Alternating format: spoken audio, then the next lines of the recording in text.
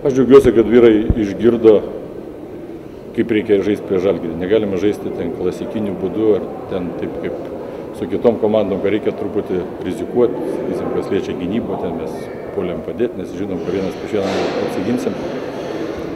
Buvo tokių nukrypimų, kur, kur neturėtų būti, nesakiau, vyrai, polime galite improvizuoti, gynyboje neturi būti improvizacijos. Tai mes kelis kartus tai padėti, nepadėti, stepautą daryti.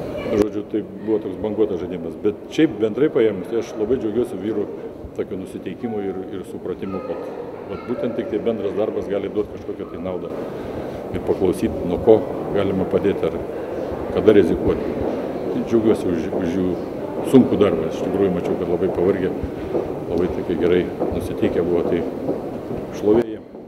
Antram kelny buvo minus 14, bet išgaravo labai greitai, kaip pavyko taip staigiai perlaužti eigą. Na, nieko nenoriu sakyti į priekį, bet aš jau jais džiaugiuosi nuo rugsėjo mėnesio. Turbūt.